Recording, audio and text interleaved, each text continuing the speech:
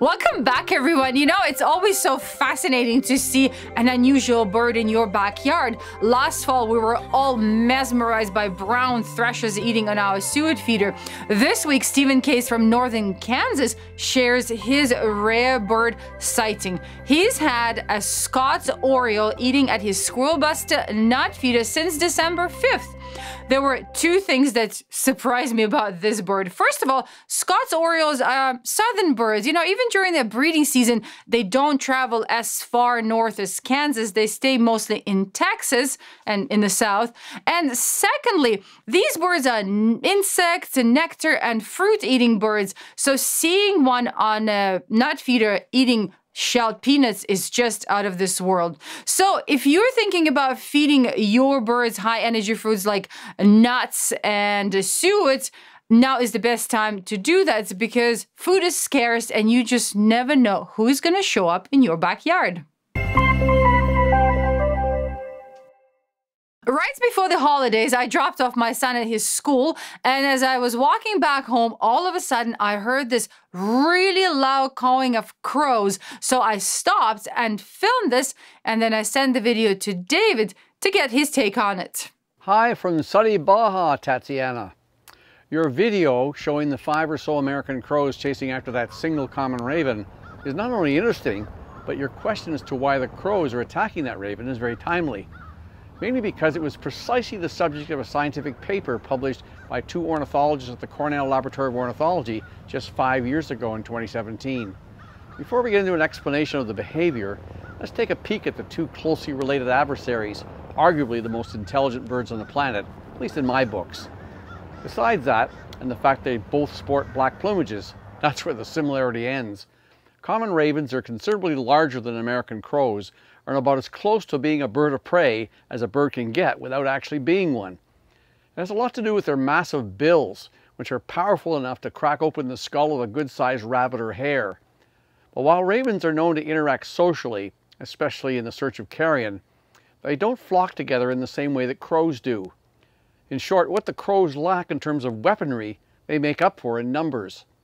As an example, several crows have been observed attacking and consuming a single dove or pigeon and leaving nothing but a pile of feathers on the ground. Your five crows were similarly using this mobbing behavior to drive the raven out of their area. And for two reasons.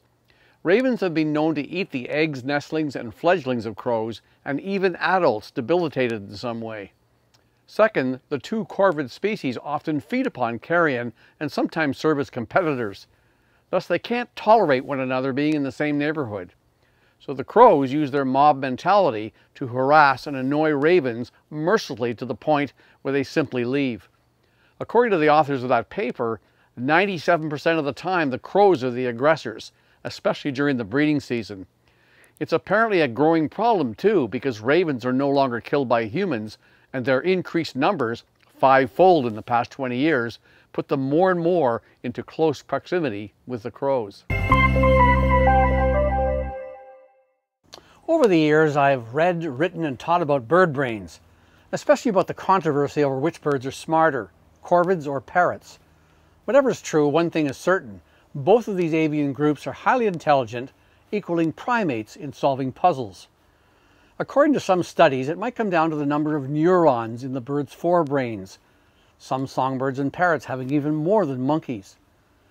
But is cognitive performance really linked to the total number of neurons? One recent paper comparing primates and corvids and pigeons suggests this not to be the case, while other studies argue that having a greater number of neurons in the pallium, which is a specific part of the avian forebrain, is linked to better capabilities in memory learning, reasoning, and problem solving. But a newly published study raises some, some new questions. For instance, what's really important? The relative number of neurons or the absolute number? In other words, does being big-bodied and thus having a larger brain translate to being smarter? To seek an answer, the research team estimated the number of neurons in the palliums of 111 species of birds, and then related the numbers to over 4,400 innovative ways that the birds feed themselves. Here's what they concluded in a nutshell, I mean eggshell.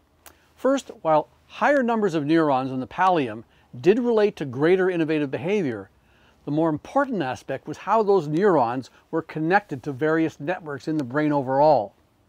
Second, the big-bodied birds with larger brains were not necessarily smarter. And third, the longer the young of a given bird species spends developing in the nest, the more neurons get deposited in the pallium. And the young of both the larger corvids and parrots follow into that category. But it still begs the question, which group of birds is smarter? Personally, I'm still betting on the crows and ravens. Just like Dr. Bird, I love corvids. They're so smart, and whenever I have a chance to stop and watch them, I sure do that. So this episode, we're talking about American crows. Unfortunately, they are feeder shy, so I can't really watch them there for hours, you know, at my feeders, but sometimes they do come and grab a drop seed here and there but they don't stay for a very long time. I think they're actually a lot better at cleaning up the mess that my kids leave when we eat outside or when raccoons get into a compost bin and leave some scraps behind. In the spring, I find it a bit disturbing to watch them attack blue jays' nests, but then blue jays turn around and attack robin's nest and raccoons, a number of hawks and owls attack American crow's nests as well. I guess that's just a cycle of life. Here on the East Coast, American crows are often confused with fish crows, which are smaller in size, but still it's not that easy to tell them apart. You have to really listen to their calls because fish crows have this distinct nasal kind of a congested call. So listen to this, that's a fish crow. And that's an American crow. American crows are such an abundant bird species that they're pretty much found everywhere in the United States and southern Canada all year around. At the end of the 19th century, beginning of the 20th century, they were not very popular birds. They were actually hunted and driven away from the countryside into the city where it was a little bit safer for them to live. American crows are ground feeding birds, so they need open habitat to forage. You know, they don't really venture into deep woods and prefer to hang out sort of on the edge of a forest. They are omnivorous and basically will eat anything they can find. Human food scraps are very popular, so are bird eggs and nestlings, and they have been observed to use tools to get their food. I just learned that they will chase and kill European starlings and house sparrows. Why these European non-native bird species? I'm not sure. American crows are migratory. They move further north to breed, but unlike songbirds, they migrate during the day. They only have one brood per season, and they don't actually start breeding until they're about two years old, and they often have helpers, which are juvenile crows from the previous year when rearing their young. Some of us flew into the new year while others are taking their time to get there. Let's check out the top five of our On the Move photo contest.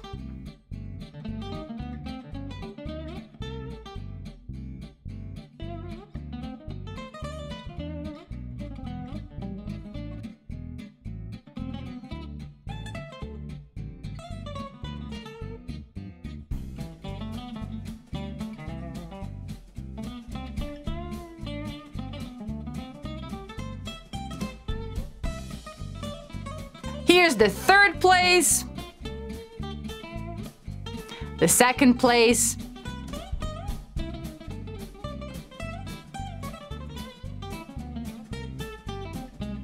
And the grand prize winner. Congratulations, everybody. Just a quick reminder, if you do take the first place, we ask you not to participate for the rest of the year to give everyone a chance. Next month is February. It's all about love and cuteness, so our theme is too cute. Well, that's it. That's all for now. Let us know if you've seen any unusual birds at your bird feeders this year so far. Take care, everyone. I'll catch you in two weeks.